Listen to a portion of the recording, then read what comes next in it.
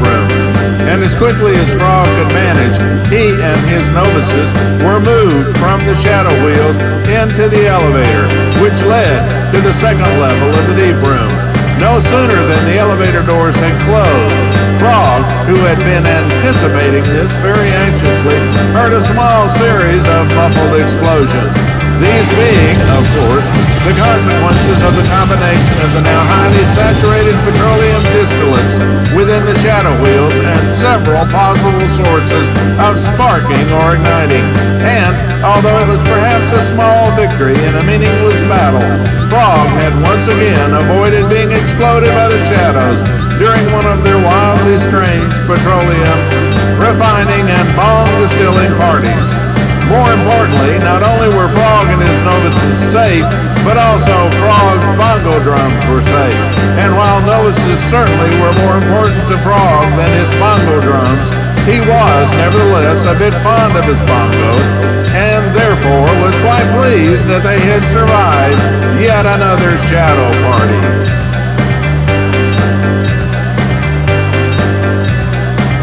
As the elevator slowly descended to the second level of the deep room, Phrog studied the security monitors very carefully and, using his highly customized mind-machine interface, began to query the security system regarding every important parameter, measurement, and observation pertaining to the safety, isolation, and inner workings of the deep room.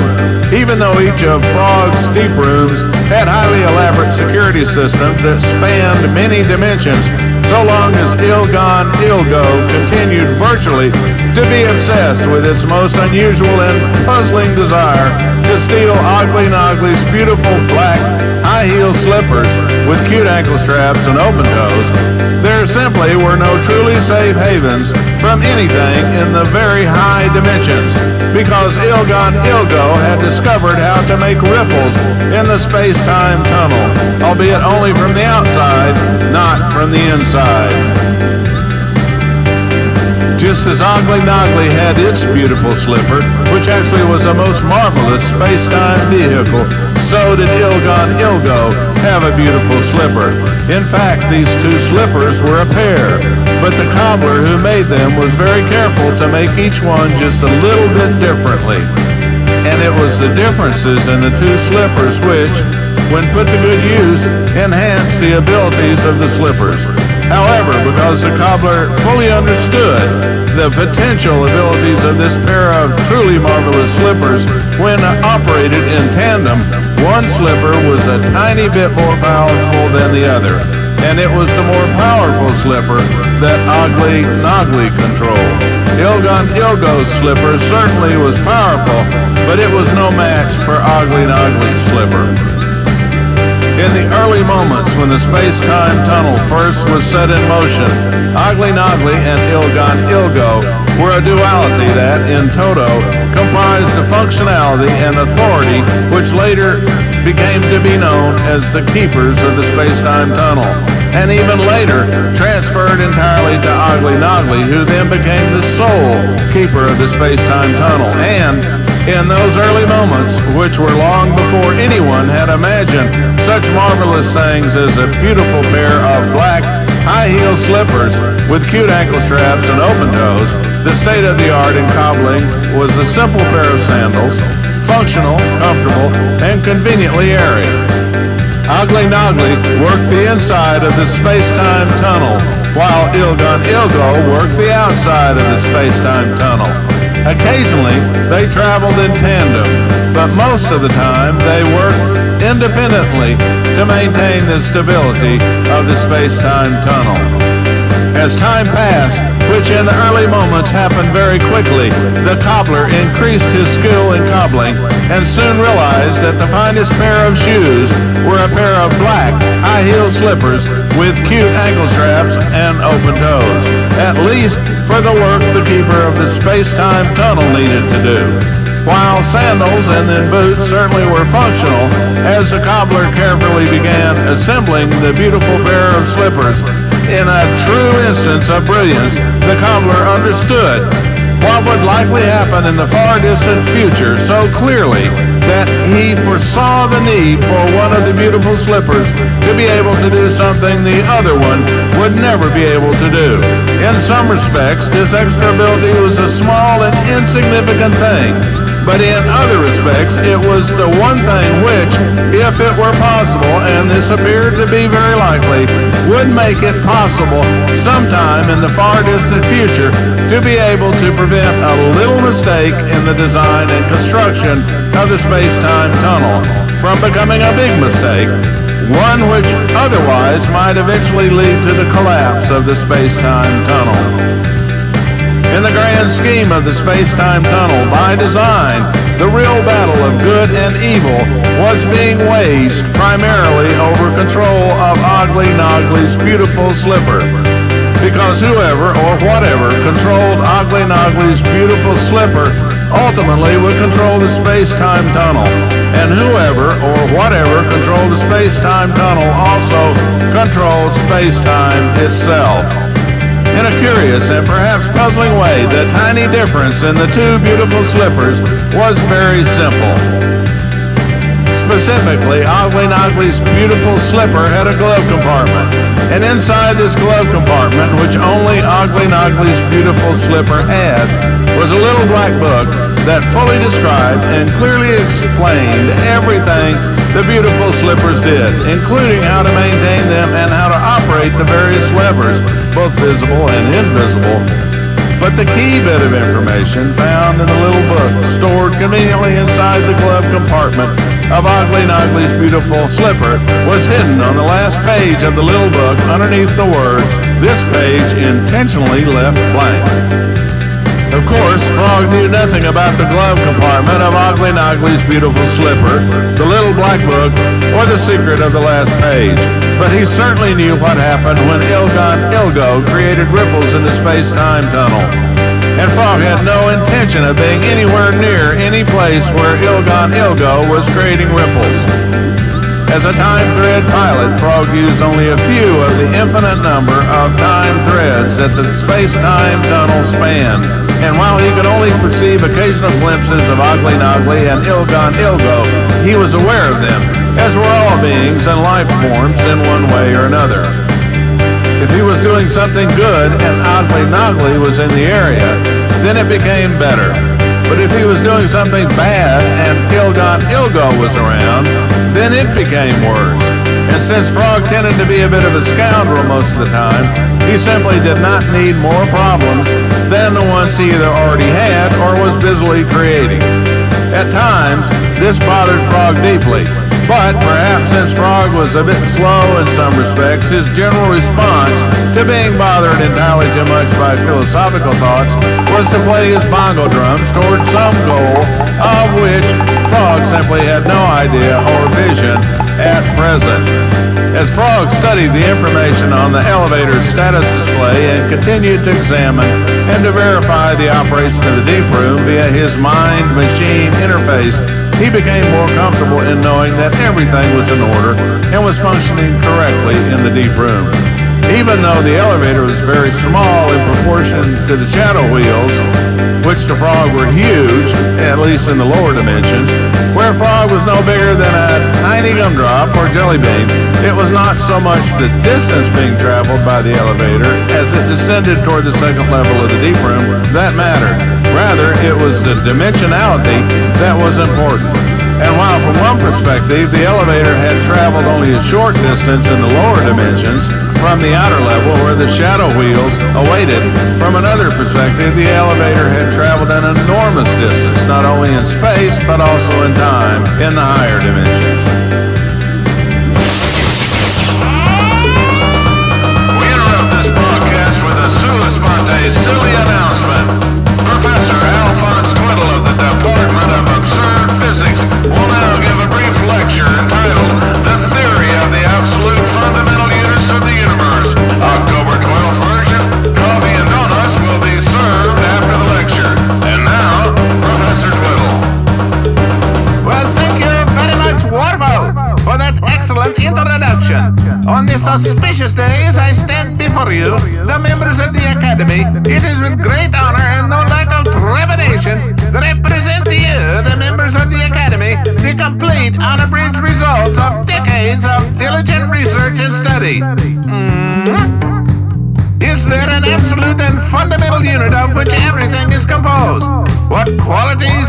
Such a unit possess? How does quantity influence its description? Well, some may argue that in mathematics, for example, a point may be infinitesimally small. It seems obvious that at some time in the nanoscopic search for the exact dimension of a point, one must reach a moment of decision. The point either exists or it does not exist. If it does not exist, then it has no dimension. Otherwise, if it does exist, then it is of absolute fundamental unit, AFU, size 1, and it has dimension. In much the same way, an AFU of existence, hereinafter simply called an AFU, will have properties analogous to a mathematical point. The major difference in terms of size is that in some types of mathematical systems, infinitesimally small is acceptable due to the abstract nature of the system being described. But existence in a physical system demands that there be a limit upon at least one quality, and it is the quality of existence. If a thing does not exist, then it has no size at all. But if a thing exists, then it must be, enough to possess the quality of existence. Therefore, I propose that an AFU has at least one dimension, the dimension of existence. How much existence is there? Is there a finite amount? If existence can be measured, can non-existence also be measured? What other qualities are necessary to describe physical things uniquely? In attempting to answer some of these questions, it is helpful to avoid the use of words like atom, electron, molecule, neutron, proton, quark, and so forth, as well as any references to the secret rules of virtually any local Alcormos Lodge, because such words and references imply links to define systems which currently are quite unable to supply us with all the answers, insofar as we are aware, or in the case of those who count ourselves among the best people on earth, can reveal publicly at this time. Recapping at this point, we have an AFU, which has the quality of existence in some quantity in the sense that it can be measured. I further propose that existence is not subject to a threshold limitation, as for example, the perception of sound is subject to a threshold phenomenon. Additionally, I suggest that existence as a quality with quantity, as well as in terms of being an AFU, is an instantaneous event, discrete if you wish. This suggestion leads to the question, in what state is an AFU before it exists? Simply stated, an AFU is in an indeterminate state of non-existence, with no dimensions, including the dimension of time. Therefore, before it exists, it is absurd to say that an AFU was non-existent for two million years, while not completely excluding the possibility AFU could be in such an indeterminate state of non-existence for some small amount of time. It appears very unlikely that such is the case. In constructing a graphic picture of an AFU, I find it useful to represent the AFU as a tiny triangle contained within a circle, which serves as a logical enclosing boundary. No properties space occupied by the AFU other than the quality of existence. In other words, because an AFU of existence is contained within the space enclosed by the boundary circle, the space exists. Since by previous definition existence is a discrete quantity, I propose that it also is an absolute quantity, in the sense it is illogical to suggest that one AFU has twice as much existence as another. All AFUs have equal amounts of the quality of existence. This is the case because considering the possibility of AFUs existing with varying quantities of the quality of existence would imply that AFUs can combine or separate to produce other AFUs. Nevertheless, I do not preclude the possibility that several AFUs could group together to form a larger piece of existence. And this is consistent with my proposition that space is not an AFU, but instead is a region of existence. The next question to be addressed is whether existence is the only property of an AFU. If existence were the only property, characteristic, or quality of an AFU, then the boundary of the AFU would actually be part of the AFU. And it would imply that by combining AFUs, one would be able to produce larger amounts of existence. Something which does not sound very promising in terms of eventually constructing a rock and a tree. There must be something which uniquely distinguishes a rock from a tree. Hence, it will not suffice to construct each one from existence alone, if for no other reason than avoiding the paradox of determining whether two things with equal amounts of existence were both rocks, both trees, a rock and a tree, or something entirely different. To avoid this potential paradox, I propose that there are at least two qualities that an AFU must have. In other words, that an AFU. Second quality that an AFU must have is called character, and it comes in two flavors, present and absent, positive and negative, or butterscotch and peppermint, if you prefer. Furthermore, character is the secondary quality of an AFU, in contrast to existence, which is the primary quality of an AFU. Discrete, and non-polar. In contrast, character is variable, not so discreet, and very polar, especially in the Arctic and Antarctic regions of our planet. Adding character to the graphic representation of an AFU is accomplished by constructing a small circle containing a plus or minus sign and then placing this little planet of character in orbit around the triangular unit of existence. The fact that this construction resembles an atom is convenient, but not nearly so convenient as the fact that it is not subject to further division.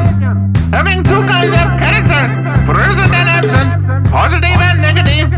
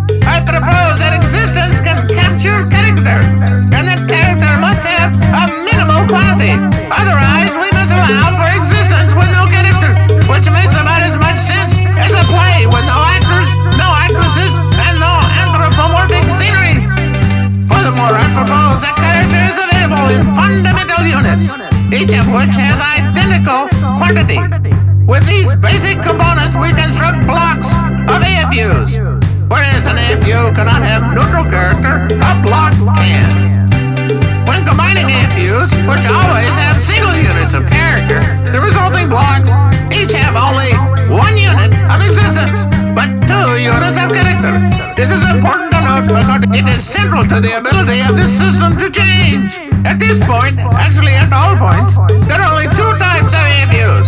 One, an AFU with positive character, the butterscotch AFU, and two, an AFU with negative character, the peppermint AFU. There are three fundamental types of blocks. One positive composed of one unit of existence and two positive units of character. Two neutral composed of one unit of existence, one positive unit of character, and one negative unit of character. And number three, negative composed of one unit of existence and two negative units of character. If you're observant, then you must be wondering what happened to the extra units of existence that were not used in the construction of these blocks. Says nothing or something must have happened to them.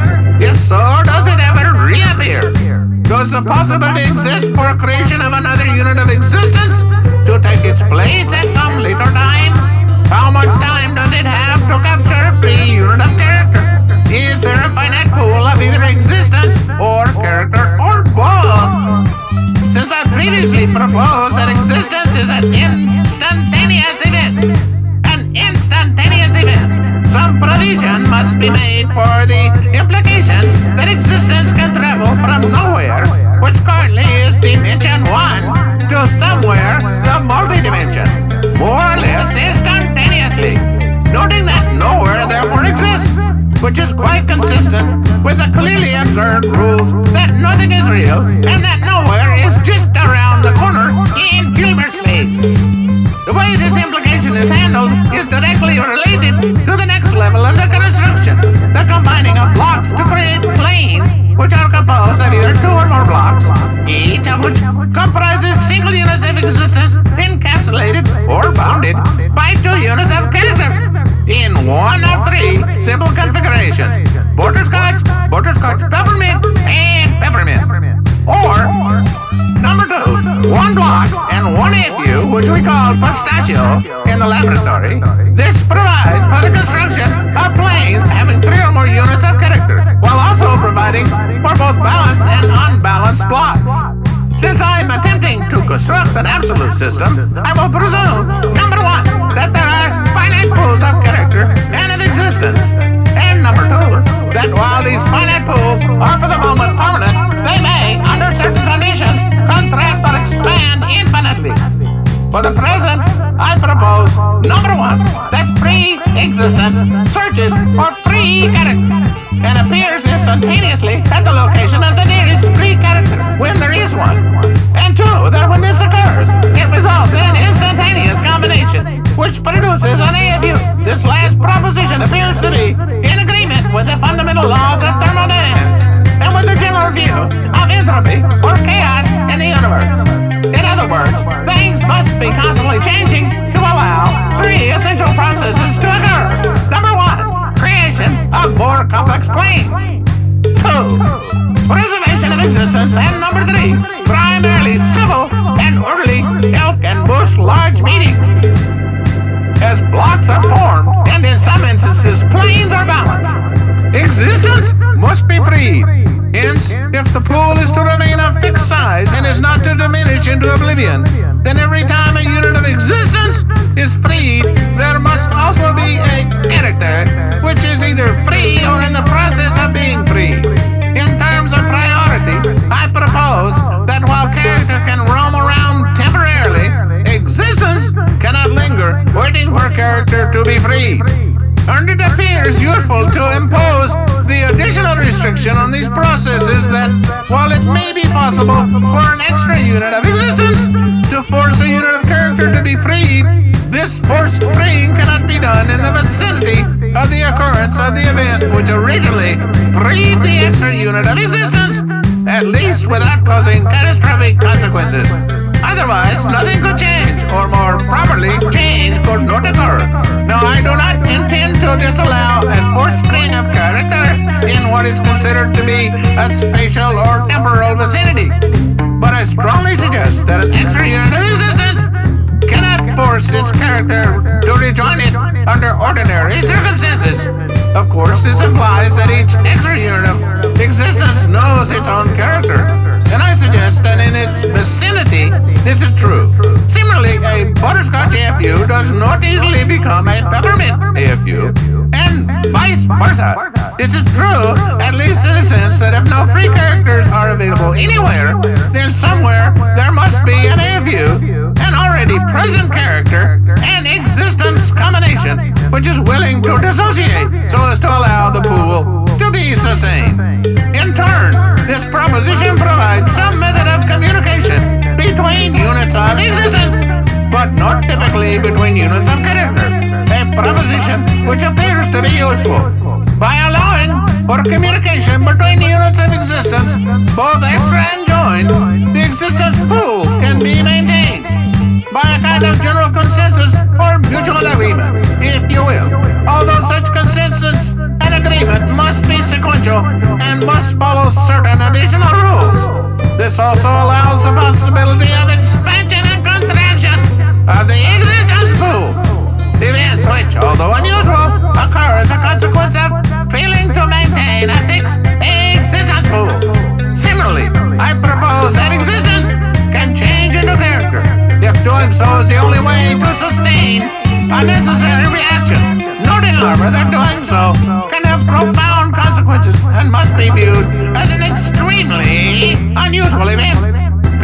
Priorities, it must be added that character cannot easily convert into existence in an analogous event.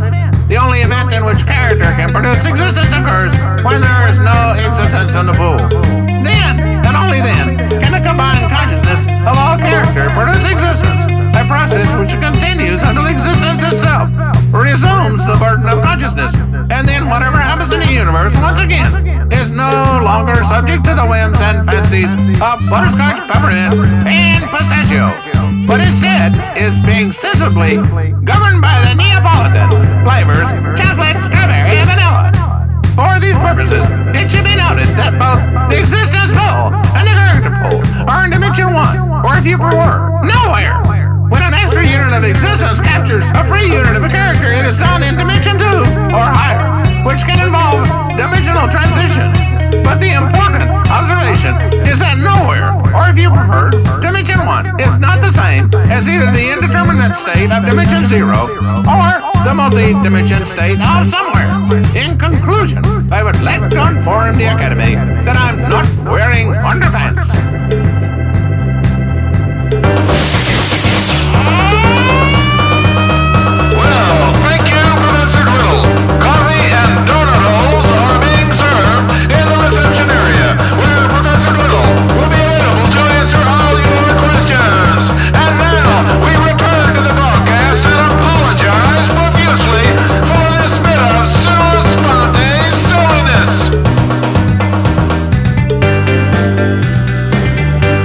Moment, the elevator stopped, and a chime was heard announcing the arrival of the elevator at the second level of the deep room. Then the elevator door opened, and much to Phrog's great surprise, there in the hallway leading from the elevator, Phrog saw a hologram hovering in the air. It was a hologram of a black high-heeled slipper with a cute ankle strap and an open toe, from which Ogly Nogly was leaning forward and holding a sign which stated in the most simple terms possible, if you see this, jump up and down three times. Suggesting this was entirely too much for Phrog to comprehend would have been an understatement. And as often happens when decisions are made in a split second without allowing sufficient time for thoughtful mentation, Phrog's response to this was quickly to press the button that closed the elevator door, an action which he figured would give him a few seconds to ponder what he wanted to do, more correctly, what he should do.